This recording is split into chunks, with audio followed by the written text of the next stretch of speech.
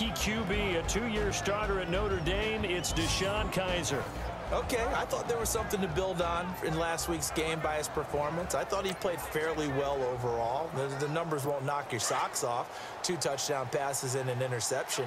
The bottom line, though, they lost. Yeah. How does he eliminate that one interception, continue to take care of the ball, and maybe increase the number of times he puts the ball in the end zone with the receiver? They'll run it with Johnson. And he'll wind up losing yardage here back at the 21-yard line. It'll wind up being a loss of two, and it'll be second and 12. Okay, there's a tone setter. First play from scrimmage, stuff him in the backfield. You know what they were doing last night in the hotel room? Visualizing exactly that. That's what they were thinking about. Making that play, having leverage, lower than the offensive lineman, getting into the offensive backfield, knocking someone down. Just what you said, set the tone early for this game. Jeez, you are fired up. When I see a play like that, I can't help it. And this O-line, it is the lifeblood of the offense. They establish the tone. Mean, nasty, physical. They can't wait to get after people. That allows the rest of the offense to feel confident.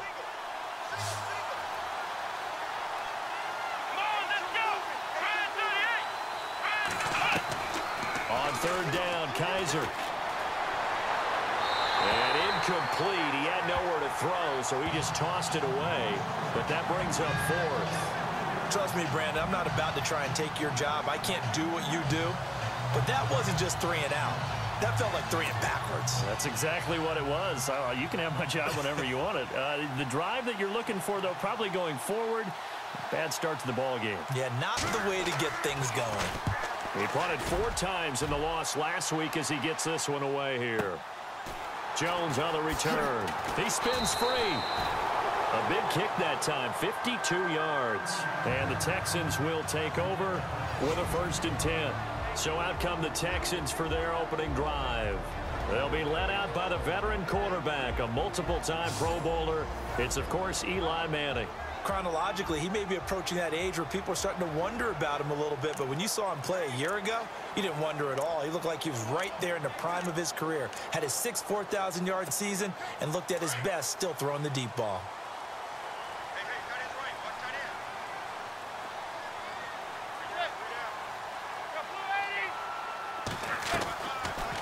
First and 10. Here's Manning.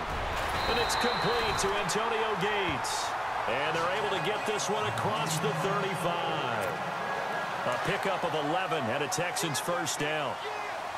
Do you get the sense, Brandon, that people are trying to retire Antonio Gates? They keep thinking this is almost the end of the line, and then he keeps making catches like the one we just saw there. He's the old reliable, you're right, just one of nine players in the NFL with 100 or more touchdowns.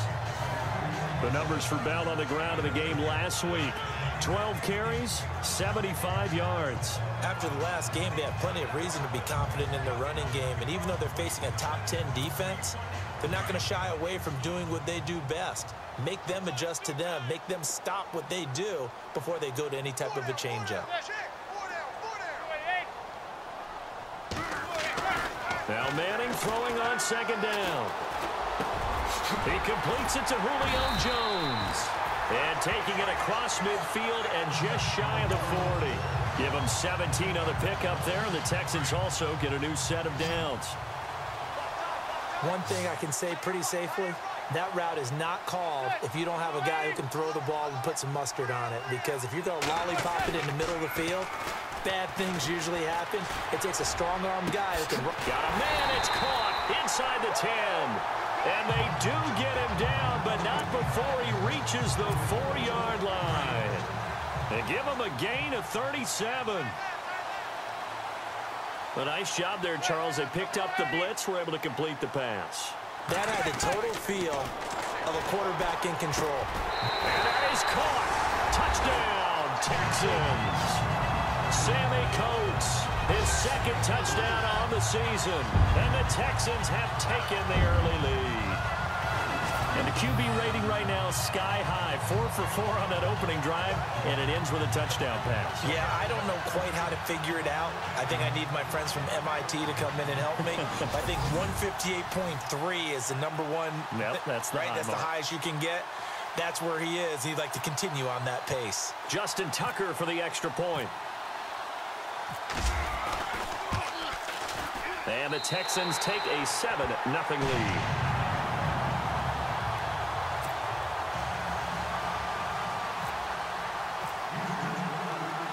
Here's Tucker now out to kick this one away. Fielded about a yard deep. And he'll make it across the 20 as his guys will set up shop at the 23-yard line. And now Cleveland geared up to take the field. And the last drive, the first drive for them, not very good. Three and out. What do they go to here? Well, you don't look down at your play sheet and say, this is what the problem is. Yeah, let's find out who my playmakers are. Get the ball in their hands, and maybe the offense will move a little bit Sometimes better. it's more important to get it to the right people rather than dialing up the right number. Exactly. Or the, the right play, yeah. That too. and he's taken down, but not before getting this across midfield and just shy of the 40.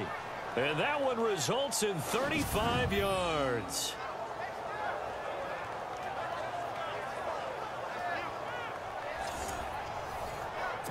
Offense comes to the line now, first and 10.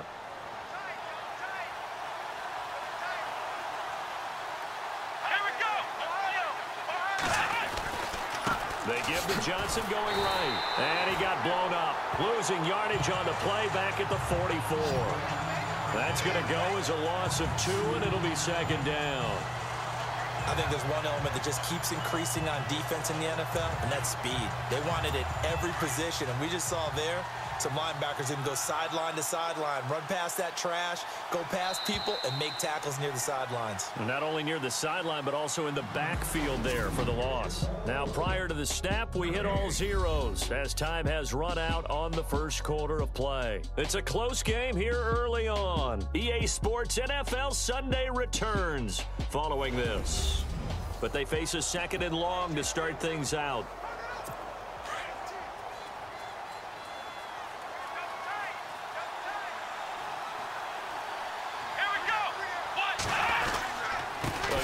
Johnson.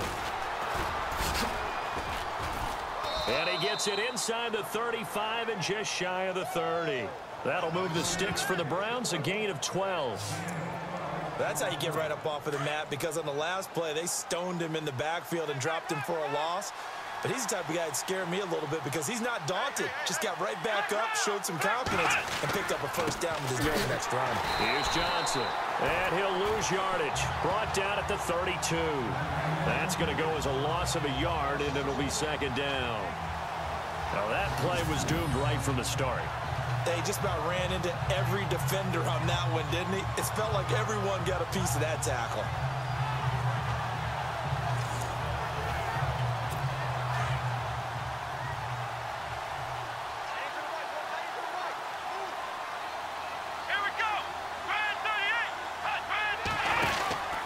On second down, Johnson. And he is going yardage here. They'll wind up losing three. And now it's third down. It's not one guy, it's another with this defense. I mean, this is the number one unit against the rush in the entire NFL. They know how to cover for each other. And, yeah, they've got great players. They also have very dependable players, too. Complete to right. And he gets this down to the 18. Good enough for a first down. Just what the Browns needed there. Good for a gain of 17. Did you see that route the way that I did? I Yep. thought he was trying to get deep. Yeah, that wasn't the first option. No, not it came off of that guy, the deep guy, and came underneath on the drag. Completed it very well. On the run, it's Robinson. Even with the good move he showed, he'll be brought down short of the 15. And analysis of this first half. Now a second down throw for Kizer. And all the way down inside the five to the four. A solid pickup of 13 sets him up first and goal.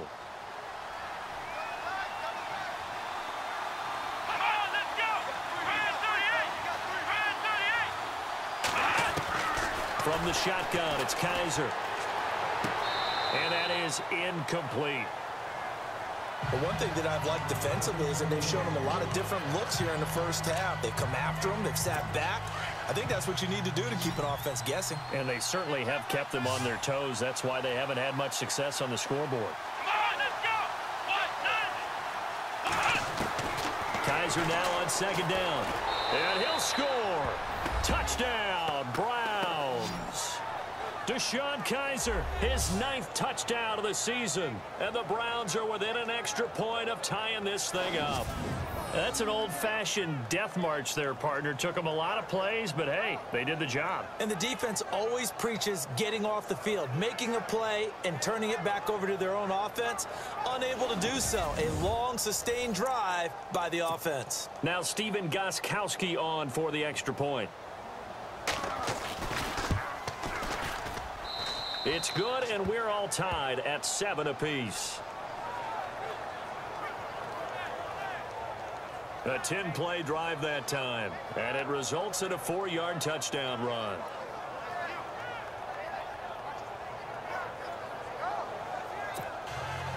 So a tie ball game here as the kick's away. This is taken at the three. And his guys will get the football right at the 20-yard line. Eli Manning and company getting set here as they head back onto the field. And he had the touchdown on the last drive, also four for four. Very, very effective. What does he need to do to translate that forward into this drive? Not think that what he saw in coverages last time is exactly what he's going to get again. He's got to play ahead and start and start thinking to himself, okay, we just did that. What are they going to take away now? What do we go to as a counter and continue to encourage his offensive line to continue to give him time? They were really good on the last drive. Brought in by Coates. And down he'll go at the 25. Five yards on the catch there brings up second down. When you see zone defense and you know you've got a drag route on as your primary call, you've got to be really careful as a passer about how far you let your guy go because he might wander into some tough coverage.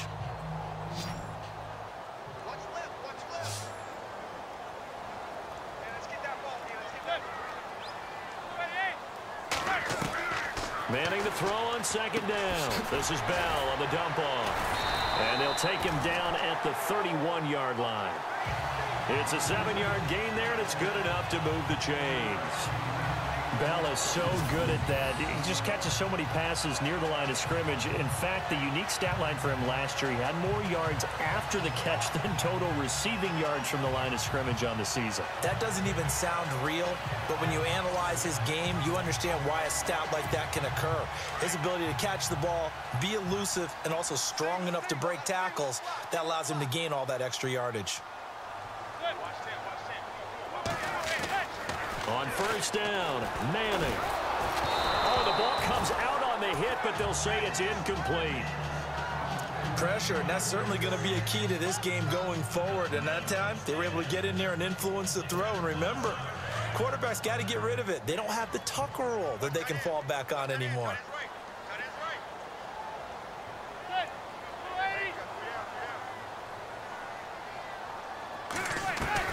Manning will try again on second down.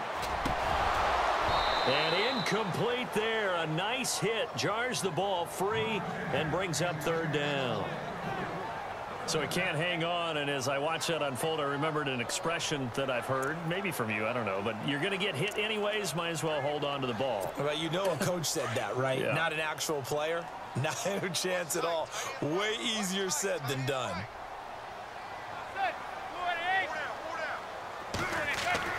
Throwing is Manning on third down. Looking deep for Julio.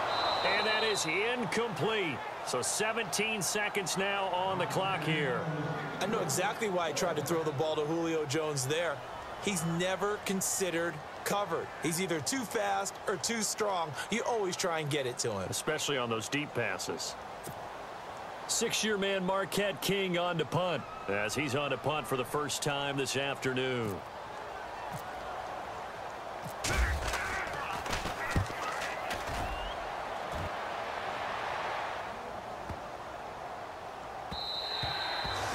Was looking for the checkup bounce, didn't get it. That scoots all the way into the end zone now for a touchback.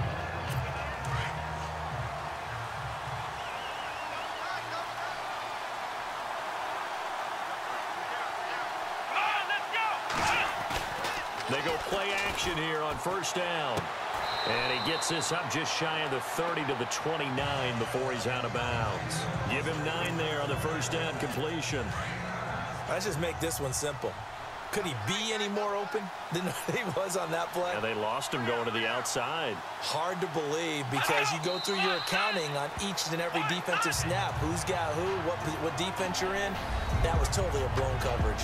So a touchdown apiece. That's what we have the show at halftime as they head to the locker room. 7-7 our score. As we send you over to our headquarters in Orlando. And no update from Larry this week, apparently. We'll try again in week seven. But for now, let's get back to the action, ready to kick off the second half.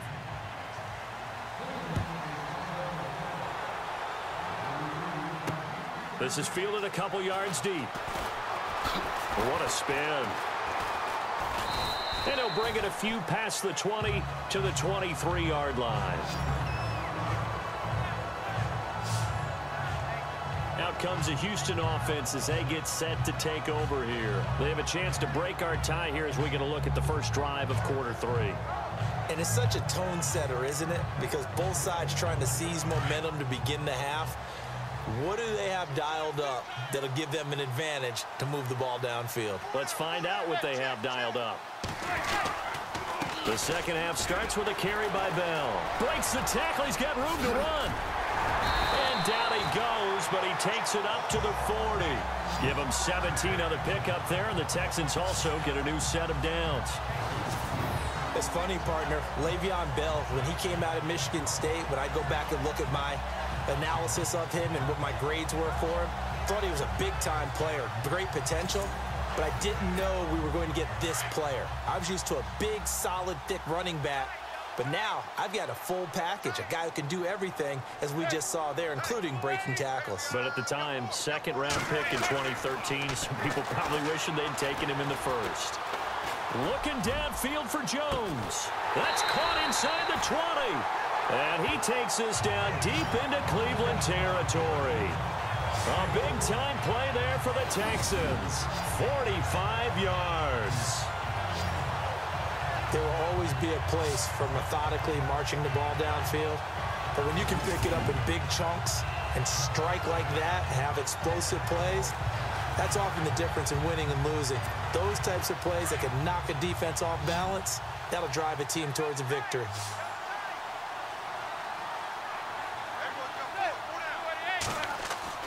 Into the red zone now. Manning. Oh, it's incomplete. That would have been big in the end zone if he could have held on. Instead, it's second down. Those throwing windows get a lot tighter near the end zone, don't they? And here's the thing. You already probably have three points in your hip pocket. You force a throw here and give up an interception, you come away with nothing. Especially tough in the middle third of the field where he threw that one. And effective running here. He'll take it down inside the 10. Second down a little more productive than first. Seven yards on the gain. It gets him to third and three now.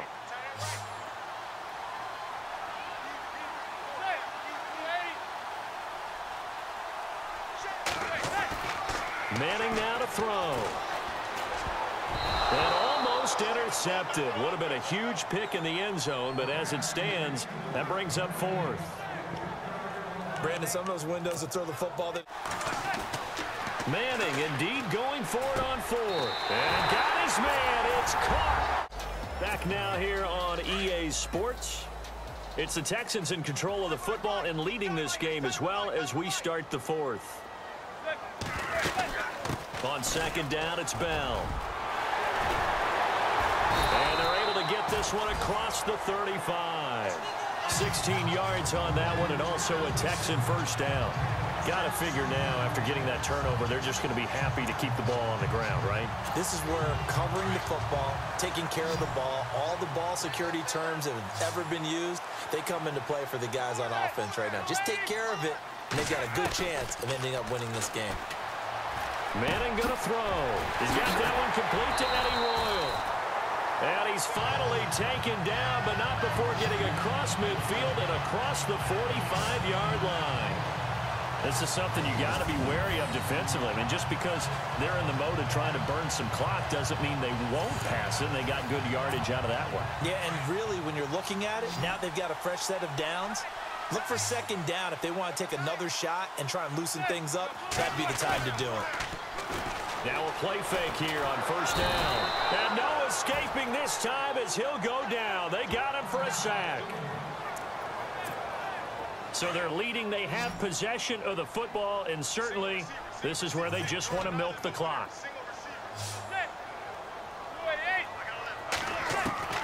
Manning to throw on second down. He'll rifle this one deep right side. And both guys were there, but it falls incomplete. There's definitely contact there, but it's the fourth quarter of a kind of tight game, and sometimes the officials just say, let them play. Kind of like your mom used to you and your brothers. Just take the broom to you and send you out to the backyard and tell you to settle it yourselves. I like that, yeah. There was contact. I don't know, like you said, enough to warrant the flag. It was close, though. Breaking the tackle, Gates. And he'll get this one down near the 20-yard line. Now, after the completion, we're going to get a timeout, an injured player. While the training staff works on him, we'll step aside and be right back.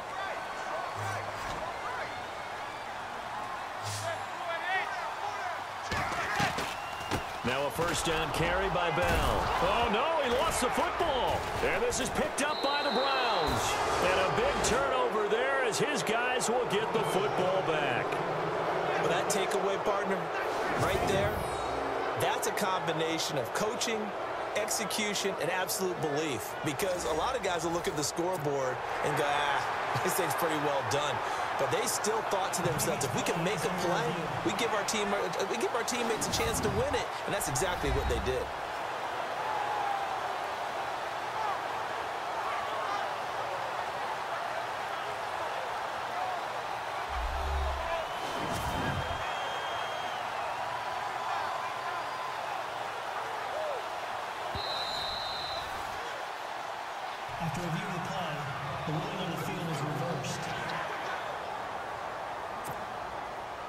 Late here in the fourth, and if this team has any chance to win this football game, their defense obviously needs a stop here. They'll run it now out of the gun. And they'll lose yardage here. Knocked back to the 19-yard line.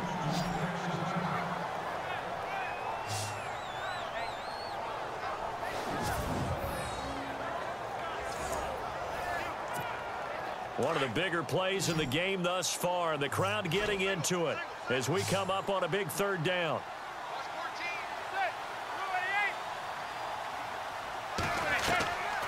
From the gun, it's Manning. It's caught. Eddie Royal. So he fought off the tackle, and that effort gives him the first before he's brought down. They're able to convert on third down, and that sets up a first and goal. Time for a break. We'll come back, see what transpires after this.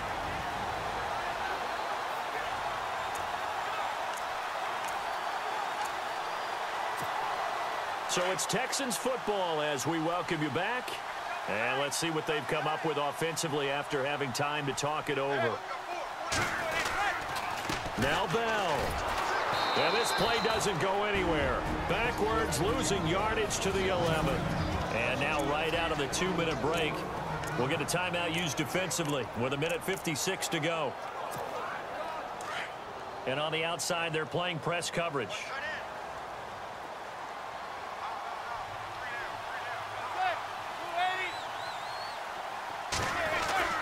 Manning looking to throw it. And the hit jarred it loose. It's incomplete. That's very well timed there defensively because it's not a bad throw, but the collision came at the exact time he was reaching to bring in the football. Really, really well done. Decent offense, just better defense. I think you're right. The offense on third down, they've converted three out of five thus far. They're looking at a third and goal here. To throw is Manning. And it's caught. And he's in. Touchdown, Houston. Eddie Royal, his first touchdown on the year. And the Texans use the short field to their advantage as they cash in for six. Well, it'd be real easy to say that they are firmly in control right now, but I'm looking at your face, and I'm thinking I've got to be careful with that. Well, it's a two-score game. You're inside of two minutes. I think you can breathe relatively easily now. Yeah, you can, but still, you got to stay vigilant. Can't give up anything cheap and easy. That could put you in some jeopardy. So they're going to go for two.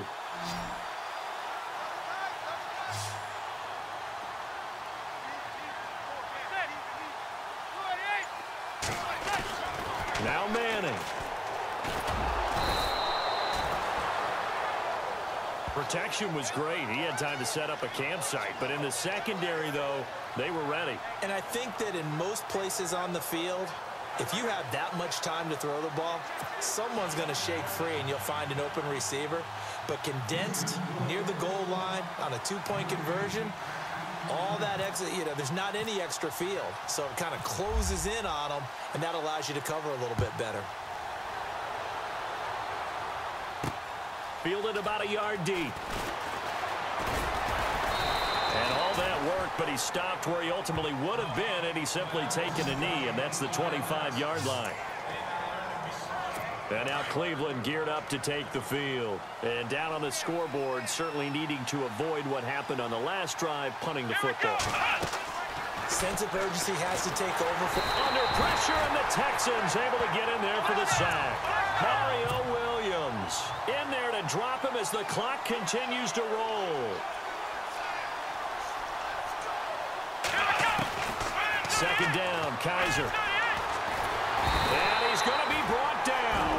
Back at his own six-yard line. Now the Browns signal for the second of their timeouts as he'll talk it over here before what will be an important third down. Third and long for Kizer. He's got his target. It's Cobb. And he's going to be out of bounds at the 39. They chalk that one up as a gain of 34 on third down. Clock management definitely critical here if they want to get back in this game. Absolutely agreed. They have to up the tempo in this case, down a couple of scores. Want to make sure they have a chance to win this ball game. Now Kizer. And seeing no options, he just tosses this one away incomplete. Now that'll bring up second down. What's the old adage? Be quick, but don't hurry. Well, that went right out the window there. He was hurried, harassed. that ball had to be gotten rid of, otherwise he was going to get sacked. Kizer. And incomplete there. A nice hit. Jars the ball free and brings up third down. It's a lot of contact going on there, and in the end, unable to keep two hands on the football and bring it into his body. Everything looked pretty good until the finish. The Browns on third down. They've converted three out of five thus far. This is third and ten. Kizer yet again. Oh, Kizer can't get away, and he'll go down. Erik Walden in there to take him down, and the clock will roll. Fourth down, Kizer, desperation time. And no, it's incomplete.